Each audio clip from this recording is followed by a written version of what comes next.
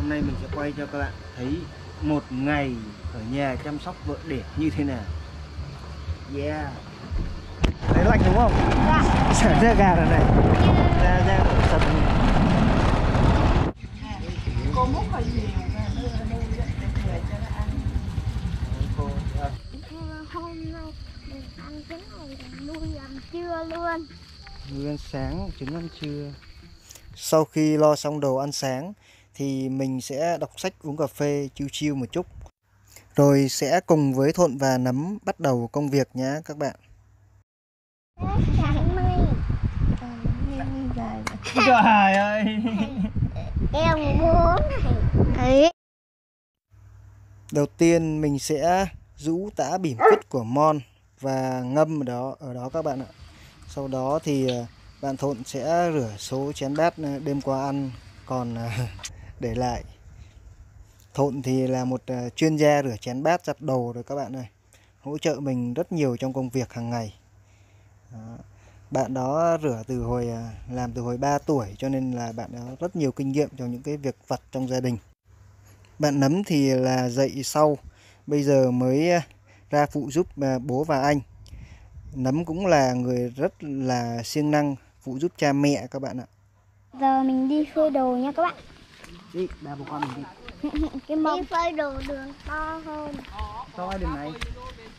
con nhỏ Nhà mình à, theo lối giáo dục à, tự định hướng, tự do cho Thuận và Nấm cho nên là mọi việc các bạn ấy tự do làm, tự do học và phụ giúp cha mẹ. Còn bây giờ thì à, nhà mình lên trên nhà bếp để cắm cơm trưa. Mình và Thuận sẽ cắm cơm cho cả farm ăn. Nhà mình à, trưa sẽ lên trên này lấy cơm về ăn và nấu đồ ăn ở dưới nhà. Bây giờ thì bạn Thuận à, vo gạo. Cả một cái nồi bự luôn các bạn. Sau khi cắm cơm thì là ba bố con mình đi cắt mướp để nấu bữa trưa. Mướp ở farm trồng à, tự nhiên rất là sạch. Các bạn sẽ phụ mình nấu cơm luôn. Giờ là đầu tiên à, là cắt mướp để à, nấu canh. Nhà có ba đẻ thì à, công việc nó rất là nhiều. Bạn nào đã trải qua rồi à, thì biết cơm nước giặt giũ rồi tối ngày. Nên là có thuận nắm hỗ trợ mình. Trong việc nhà và chăm sóc mẹ với cả em bé. Ừ. con làm gì giấy ruộng kinh thế hả? Hai tay chị nấm rất là đảm đang trong việc chăm sóc em nha các bạn ơi tắm rửa rồi là thay bỉm tã. Ừ mon đúng là lịch tuyệt đấy nha. Bây giờ đeo tá nha mon bây giờ cũng trưa rồi nhà mình sẽ dừng video để ăn trưa. Tạm biệt các bạn nha. Lại cũng lại để xuống Kẹt chứ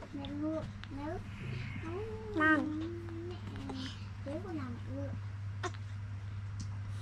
Mà giấy ruộng kinh quá làm sao chị làm nổi hả? à, mẹ phụ bên này. À, làm kéo bên kia. Ui. Đóng lại. Cái này Đâu ta đây rồi. Bê cu lại.